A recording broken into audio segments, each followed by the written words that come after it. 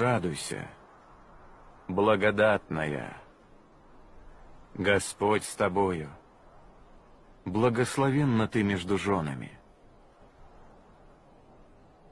Не бойся, Мария, ибо ты обрела благодать у Бога. И вот зачнешь и родишь сына, и наречешь ему имя Иисус. Он будет велик и наречется сыном Всевышнего. И даст ему Господь Бог престол Давида, отца его, и будет царствовать над домом Иакова вовеки, и царству его не будет конца.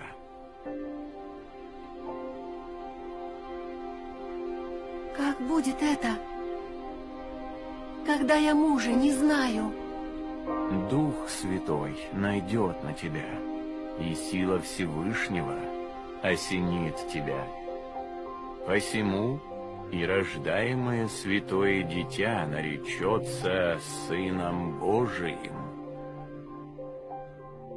Вот и Елисавета, родственница твоя, называемая неплодною, и она зачала сына в старости своей, и ей уже шестой месяц. Ибо у Бога не останется бессильным никакое слово. Все раба Господня. Да будет мне по слову